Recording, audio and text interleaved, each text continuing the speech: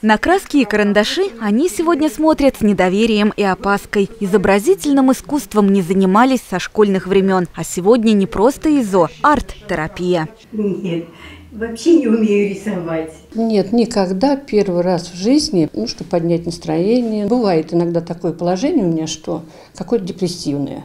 Сейчас мы берем карандаш и очень легко проводим так называемую линию горизонта. Линии горизонта чертят в городском обществе инвалидов. Здесь дан старт новому проекту, главная цель которого – снять тревожное настроение у людей с ограниченными возможностями здоровья и внушить им веру в себя. Я подумала, а что могу сделать я? Почему бы мне не поднять немножко дух тем, что я могу? То есть я умею держать кисточку в руках. Елена Агапова – опытный педагог, преподавала изобразительное искусство у студентов университета имени Разумовского. Третий год живет в Авантеевке. Учит рисованию детей в одном из детских центров. Возраст арт-терапии не помеха. Не умеем – научим.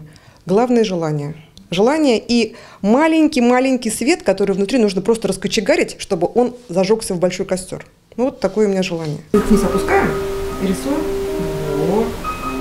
Под музыку рассказы из личной творческой практики. Сегодня на чистом листе рождаются пейзажи. На опушке прорисовываются деревья и смешиваются в контурах восковых мелков осенние акварели. Любая терапия, связанная с искусством, ну, с музыкой, скажем так, живописью в данный момент, с движениями, это, конечно, терапия, особенно для пожилого человека. Писать наивную картину чистыми, не смешанными цветами – задача дня сегодняшнего. На первом уроке отдыхают душой и наслаждаются созиданием всего пять активистов общества инвалидов. Если проект будет востребован, его планируют расширить.